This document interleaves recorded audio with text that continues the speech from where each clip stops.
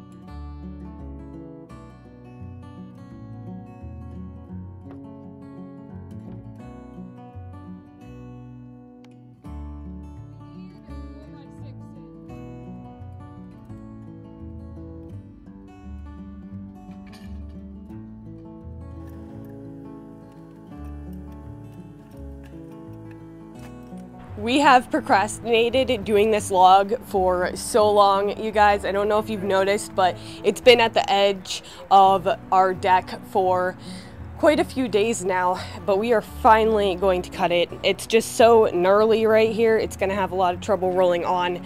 Obviously, we had a lot of trouble just getting it onto the arms, so uh, wish us luck with this one. It's a pine, so it should be lighter than hemlock, at least. There's that.